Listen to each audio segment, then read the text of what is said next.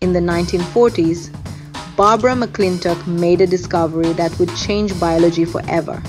She found that genes can move, jump, rearrange, even control other genes. She called them jumping genes.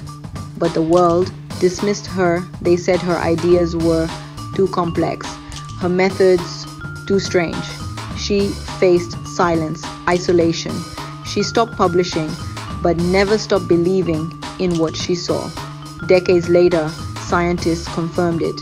She was right. In 1983, Barbara McClintock became the first woman to win the Nobel Prize in Medicine alone for discovering mobile genetic elements.